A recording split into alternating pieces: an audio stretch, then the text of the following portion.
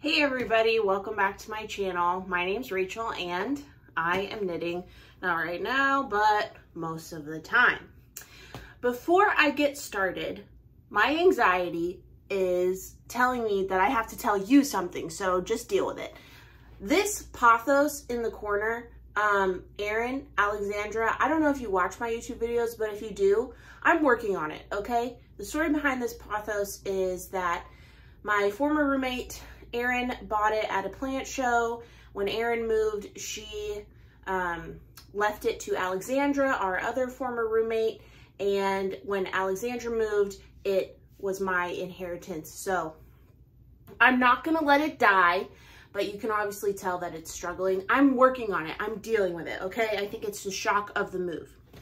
Anyway, let's get started with what I came here to talk to you about in the first place, which is has nothing to do uh, with plants. So let's go. So anyway, over the weekend, I got home from a trip to Oregon. It was a wonderful trip. I celebrated my sister's wedding. I got to spend time with my family at our family cabin. And I made some, I think, formative memories, not just for me, but also for my niece and nephews. So overall, it was just a wonderful time. DJ got to come and spend a few days while I was still there, and then we came home together. And of course, I got some yarn and some yarn adjacent items. So I thought I would show you my haul. So this is basically all the, all the things that I brought home with me from Oregon. Some of them are yarn related, some of them are yarn adjacent, and some of them are just um, things I brought home with me. So let me show you what I got. First of all, there are some items that were already waiting for me at my parents' home in Oregon. I had some items shipped directly to my parents' house instead of shipped to me in Louisiana because I knew that I would be visiting them during the month of July. So here is what was waiting for me when I arrived.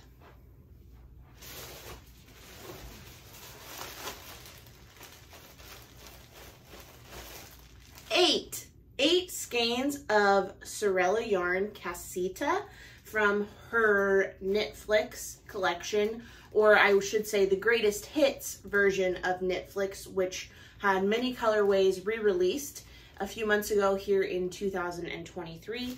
I got a sweater quantity of Casita, and I'll show you a close-up of it so you can really enjoy the beautiful colors. I'm trying to minimize the crinkling because I know sensitive ears do not like that. So I got eight skeins of this on cashmere sock. When I am sample knitting or sample cranking for a dyer, if money is not the compensation, then yarn for yarn is the compensation. So what I mean by that is when Sewrella Yarn sent me five skeins to make a sample knit, I then earned, upon completion of that sample, I then earned a five skein shop credit to use whenever I wanted. So when Sewrella Yarn reached out to me to knit that sample, I then took the opportunity to say, hey, I've been meaning to talk to you and I have this Dean and Bean sock cranking machine. I would love to sample knit some socks for you. And she took me up on the offer. She sent me 10 skeins of the variegated colorways from her Autumn in New York collection. And I made 10 pairs of socks for her with those 10 skeins. So between the five skein sample knit and the 10 skein sock cranking samples, I had a 15 skein shop credit. Now, I have thought about how to discuss this topic and it kind of stresses me out um, because I don't want to come across as bragging or whatever, but I figured like, I don't know, maybe that's just my anxiety talking and it's not really a big deal. Maybe it is and you can tell me, but the long story short is I have too much yarn. I have too much yarn that I already have in my existing collection, and I have too much yarn coming in, whether it's gifts from dyers or collaborations or partnerships. So I have to offload some of these skeins. I physically cannot keep them just because space is limited and I need to protect my peace. And it stresses me out to have so much yarn around me that I know I will never have the time to knit or makeup or crochet or whatever. I will not have the time to work it up, so I need to share the wealth. So that's what I've been doing. So when I decided I was finally ready to use my 15 skein shop credit, I shared it with my sisters and they both picked out yarn that they really liked. One of my sisters had her eye on Shop Around the Corner and it's been like on her radar since it was first released. So I really wanted to make sure she had the opportunity to purchase it this time around because who knows if it will ever come back. And then my other sister got to pick a couple skeins of her favorite colorway from the Knitflix collection as well. And I decided on Casita. So after my sisters got their um, allotment, I had a credit for eight skeins left over. The shop credit is just for your basic skein, so basically a $30 skein.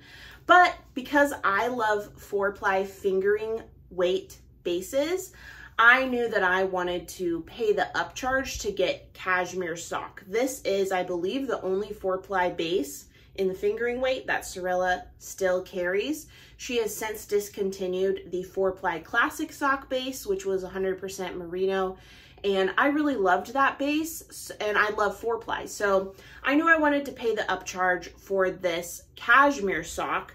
The fiber content is 80% wool, 80% 80% superwash merino wool, 10% cashmere, and 10% nylon, and it's 435 yards per 100 gram skein. So I got eight of these to make a sweater. I don't really know exactly what sweater I'll make, uh, but I am excited about holding this double because I think the colors will really pop and be layered and just like add a beautiful depth to the garment that I will make with this yarn. But anyway, I need, I'm getting off track. Since I wanted the cashmere sock, I think this is maybe $34 a skein. I'll fact check myself when I edit, but I think this is $34 a skein. So that means I paid $4 per skein. And with eight, that means I paid $32 out of pocket for eight skeins of yarn.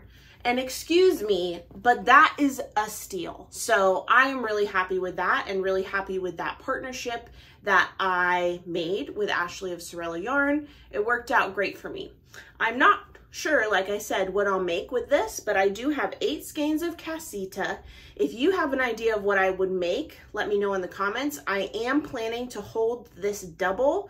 So this would be for uh, DK or maybe light worsted pattern and I want to make a sweater. So let me know what you think. So that was the first thing that was waiting for me in Oregon.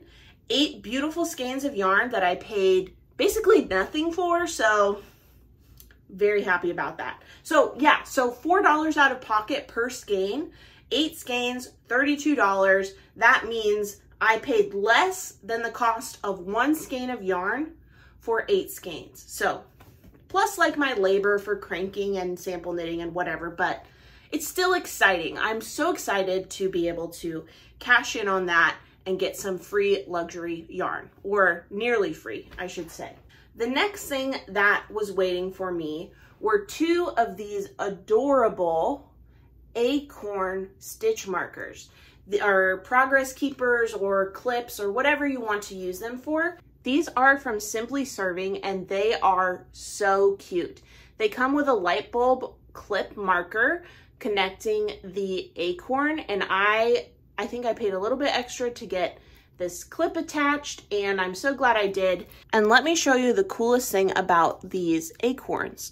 They twist open and inside Simply Serving has included four teeny little stitch markers. So you could clip this onto your project, onto the fabric of your garment. You could have it clipped to your needles. You could clip it to your project bag. There's all sorts of different ways. Let me focus so I can actually screw this on. But how cute are those? I got two of them and those were waiting for me in Oregon. I chose to clip one of them on my new project bag. So you can see it dangling right here on my project bag and that leads me to my next purchase. My mom and older sister and I had the immense privilege to go to the Portland Leather Outlet in Portland, Oregon. Oh my gosh, if you're local to Portland, please go check it out. It is so cool in there and so fun. They don't have an affiliate program anymore. I used to be an affiliate and I really enjoyed that partnership. So Portland Leather, you should uh, do that stuff again because it was awesome. Yeah, so anyway, if you're local to the Portland area, check out the outlet store. It is amazing. It has all of these colors that you might not find online and the prices are incredible. So for instance, this is a makeup bag. This doesn't come with it. I'll get to that next, so ignore this. This is a makeup bag, and I think these retail for about $50 before discount codes, and this was priced at $28. So that's already a steal. But I'll tell you something else. I'll get a close-up shot so you can see, but there is a slash on this bag. So when I went to check out, I said, I don't know if y'all do this since it's an outlet store and the prices are already incredible, but there's a slash on this. Is there like a discount possible? And they gave me 20% off. So it was like 20 bucks, just a little over 20 bucks for this makeup bag that online is $50. And in fact, this pattern is not currently in stock anyway. This is the Dahlia pattern. Maybe if I block my face with it, it will focus on it. Yeah. So it's just gorgeous. Beautiful, beautiful bag. I got it to use as a project bag. I think that it would be perfect. See, $28. So I got it as a project bag. I think it would be perfect for a hat or maybe if I have socks that I need to sew the toes closed or if I'm starting a sweater and I just have one skein with me or two skeins, I think that this would be perfect. So I got that. And actually my sister was gonna buy this at first, but she decided to get a different size of this. So I'm actually really grateful that she decided to trade me. I did not pressure her, but she did decide to trade me the, the bags we were holding and this is a perfect size for project bag. The next thing I got was, I forget what this is called. I think it's a mini, mini dop maybe. It's this tiny little keychain and I think they have bigger sizes online, maybe for like shaving kits or travel bags or whatever, pencil pouches. But they had this little table of miniature ones on keychains. So of course I purchased that. And I thought I'll clip this onto my new project bag and I can use this for Notion. So I'll put a little pair of scissors in here, some tapestry needles. We'll see what else I can fit, but I think I can fit pretty much everything I would need in a traveling notions pouch. And there it is, already connected to my new project bag. And then this little acorn attached there is just perfect and it totally matches the aesthetic and the vibe of this beautiful earthy leather gorgeous bag. Also, while I was at the Portland Leather Outlet, I got a new wallet. I was torn between two wallets one that matched this pattern, this like embossed pattern and the purple because as you may know, I am loving purple right now. I put a poll up on Instagram and the results were overwhelmingly purple. I will tell you though, I was kind of sad when I left. I was like, maybe I should have gotten the Dahlia one or the Meadow one or whatever this pattern is called. I think it's Meadow. Um, and Dahlia is the black version of this. Anyway, I really love it now. And I think I might send it off to get um, a fuchsia flower burned into it. We'll see. That will be a, a problem for a later day, but really happy with my new wallet. Normally it's filled with all my cards, but I took them out because it's none of your business what my cards are. So there. Okay, so we have that. Oh, I just remembered another thing. Well, two other things actually. Two other things that were waiting for me in Oregon. Shutterfly had this deal recently where you could get magnetic or mag fridge magnets, photo magnets for a dollar a piece. Normally they're like $10. So I ordered some. I ordered a bunch of me holding my um, degree in my doctoral regalia. And I thought I would just give this to my family, people in my family who want them. I don't know. DJ has one in his in his office. Um, but yeah, so I ordered several of those. My parents have one on their fridge. I gave I gave one to my grandparents and my grandpa got kind of emotional and kissed my hand and it was really really sweet. Um, cuz they've supported me for so many years doing doing that. So that was a really special memory. And I also got a few prints of our beach cabin, our family beach cabin that was built by my great grandfather in spring of 1941. Um, it's my favorite place on earth. It's the most special, special, special place to me in my heart and to my family. And I, I will take this opportunity to tell you there's going to be a cabin collection. I'm partnering with Cesium Yarn, Cat and Penny in Roanoke. They are going to be dyeing some specialty colorways uh, that reflect my love of the cabin and some of the items in the cabin and just the overall vibe and atmosphere of the cozy nostalgia of the cabin. So keep an eye out for that. I am so excited. I've never worked with a dyer to make, you know, like a custom collection for myself and for others. So it, it's a total it's a total trip. It is so much fun. It's a really steep learning curve, but I am having a blast.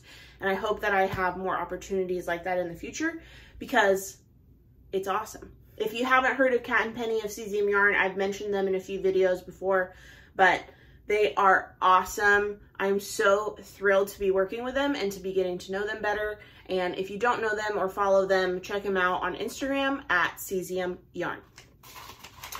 The next thing that I had waiting for me in Oregon is a very special bowl.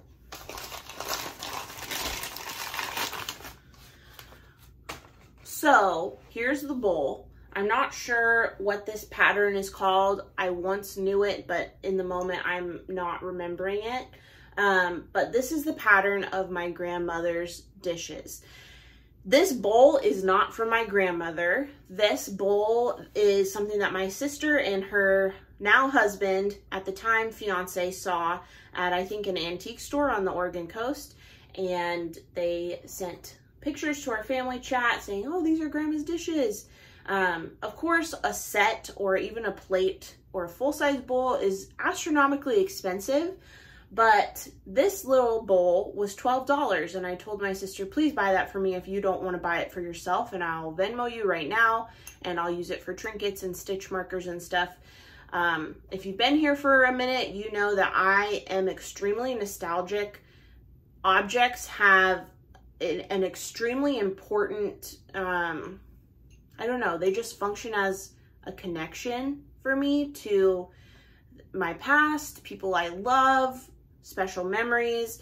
Um, so I have kind of in over the last few years made it my unofficial mission to surround myself with nostalgic objects. So even though my grandmother did not own this bowl, this did not come from my grandmother's house, whenever I look at this, I'm going to think of my grandmother and my grandfather, and I'm going to be just filled with nostalgia and happiness. So I'm really excited and thankful to have this bowl. So thank you to my sister for buying that for me.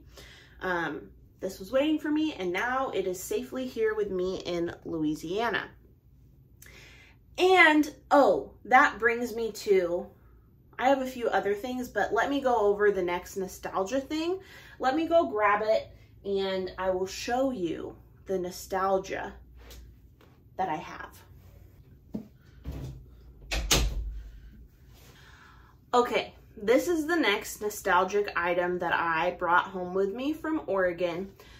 This is a hymnal from the church that I grew up in, and it's incredibly nostalgic for me, and it's um, layered also because I have a lot of fond memories of this church and growing up there, but also I have a lot of um, things that are painful to remember as maybe you can relate to also. I'm covering up the embossed name of the church because, I don't know, privacy. But I have since learned that this is a mass-produced hymnal. Churches all over the country, maybe all over the world, have this hymnal.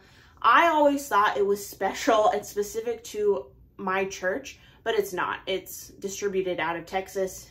My church was in Oregon, but the name is embossed in gold on the bottom to match this emboss um, of the title. So that's what makes it special to me. And I talked about how the cabin is very special to me.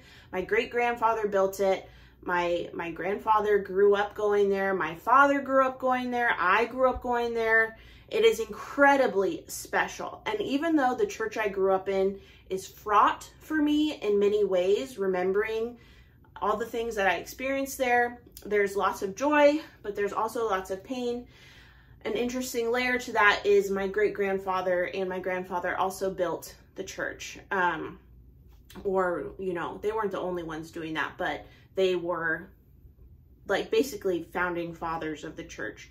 Um, but anyway, so this is like, in many ways, I see it as part of my family legacy. So I'm very thankful to have a hymnal from that church, even though I, um, even though I don't need this for worship and remembrance or celebration because that is not something I do now, but I'm very thankful to have this hymnal. Okay, transitioning out of nostalgia, let me now show you my actual yarn purchases. So every time I go home to Portland, I make sure to visit Starlight Knitting Society. If you haven't been there, it's a great local yarn shop in Northeast Portland. And guess what? When I went there, when I went there, listen, when I went there, I was recognized. Isn't that wild? That has never happened to me before. It may never happen again. And it was weird, but it was so cool. But I was like, should I think this is cool? Maybe this is normal. But to me, it was really cool. So, um, thanks. That was, that was cool. Okay. So anyway, here's what I bought at Starlight Knitting Society. I bought a skein of Universal Yarn Easel. This is kind of a self-patterning-ish yarn. And I don't think this is the same um, line of Universal Yarn that I have purchased in the past. There are two other skeins that I've purchased on separate trips of Universal Yarn to crank socks. And even though this is, I don't think it was easel that I bought. I'm not sure. Um, but I bought this to crank a pair of socks as my third souvenir pair of socks from Starlight Knitting Society and Trips of Portland Past. So happy with that purchase. I also, whenever I go to Starlight Knitting Society, I am sure to purchase a Tuft Woolens product. Tuft Woolens, if you don't know, makes wool wash, um, hand balm, lip balm, things like that. And their scents are incredible. I have a few different scents. This one is 5th and 57th. It's a bar of wool wash soap. I have a few Tuft Woolens wool washes, but I've never actually used them as wool wash. Sorry. I, I'm sure they're wonderful, but what I love to do is stick it in my cedar chest and then all my yarn that lives in my cedar chest or all my finished objects that live in my cedar chest, depending on which cedar chest I'm putting it in, will smell like the bar of wool wash. So just smells incredible. I'm really happy with this scent. This smells like almost like like cologne on a spring breeze or like a night night breeze. I don't really know how to describe it, but it smells really good to me. I really am happy with that scent. I also got a Tuft Woolens lip balm. I think it's probably somewhere in my Notions pouch or my purse somewhere, but I got the cardamom flavor. I wasn't sure, or scent I should say, because I'm not eating it. It's not a flavor, it's a scent. Who cares? But I was debating which one to get, and um, one of the employees there, I she said cardamom is amazing. It's her favorite one. So that's the one I got and it is really nice. It's like, maybe you already know what cardamom smells like or tastes like. I, I didn't, um, but it's like this really nice nutmeggy, warm, almost spicy, but not. Um, and it's great. It's great. I'm really happy that I got that one. The next thing I got were two buttons I'll show you a close-up of these. They're like in a little basket at the checkout and so you can like kind of thumb through them while they're ringing you up and um, sorry, couldn't say no. So I got two of those. I also got this Loran, Loran, not sure, Norwegian knitting thimble. This is my absolute favorite knitting thimble. There are a lot of knitting thimbles out there and at least for me and my preferences, they are not all created equal. This is my favorite. I buy it whenever I see it on Amazon. It's been upcharged. They cost about $10 on Amazon. Maybe that's changed. I'll put a link down in the description box. If you want to pay $10 or whatever the price is, if you're desperate for a good one, this is the one I recommend. At Starlight Knitting Society, it was $4.50. So of course I grabbed one. I wanted to grab them all, but I didn't want to be greedy. I wanted to leave it for the next lucky maker to get one if they wanted. So I only took one and that was really hard for me to do, but I did it.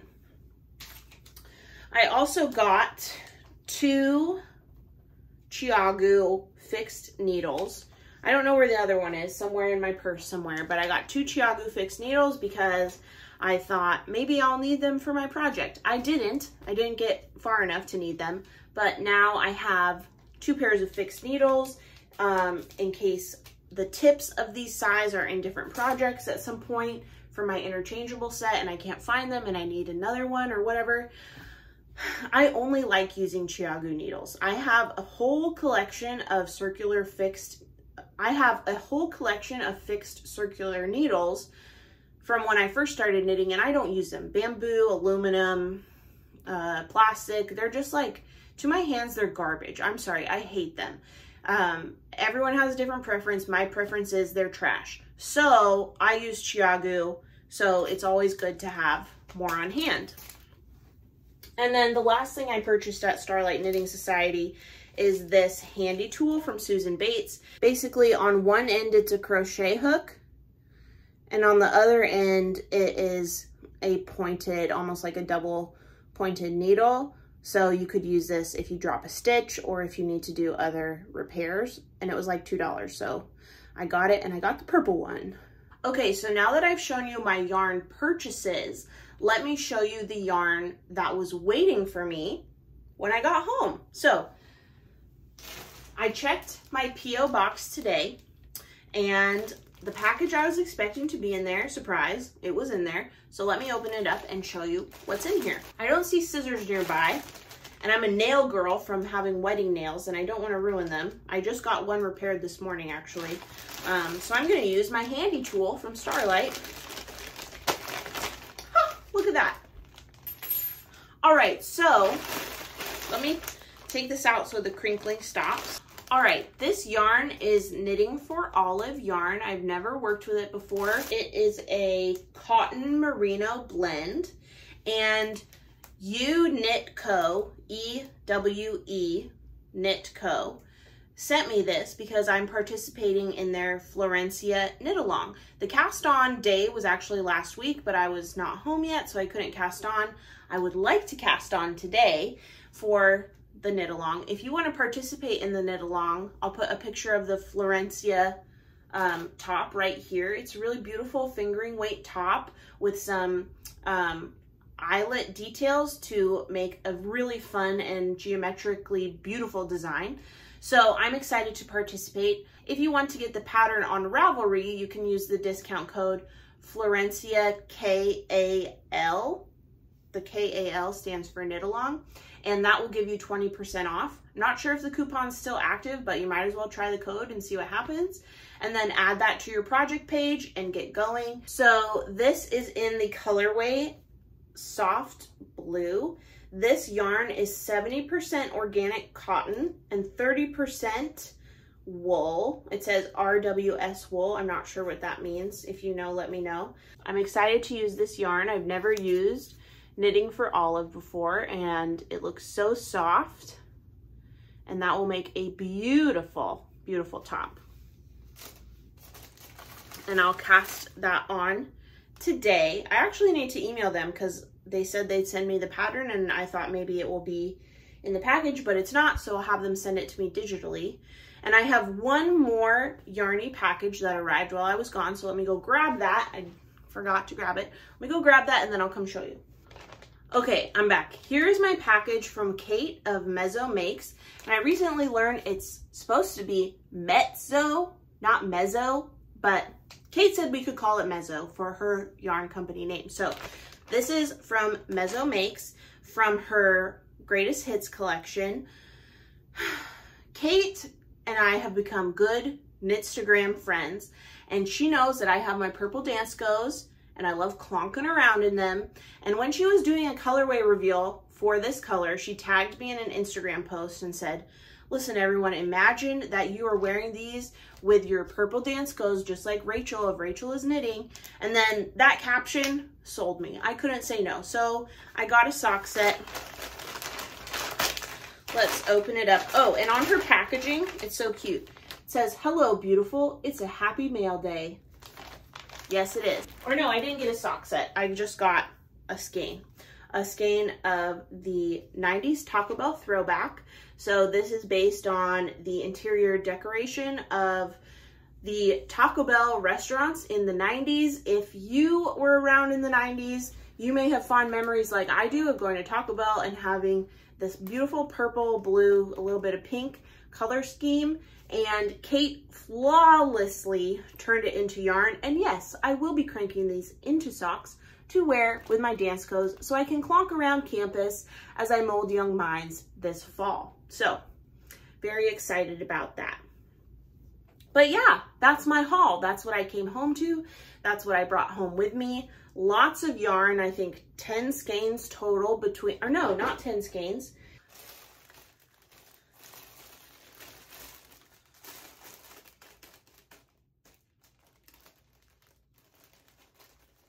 So between the yarn that I had waiting for me at my parents' house, the yarn I purchased while in Oregon, and the yarn I had waiting for me back home in Louisiana, this is 17 skeins of yarn. So that's a pretty good haul. I am not mad about that.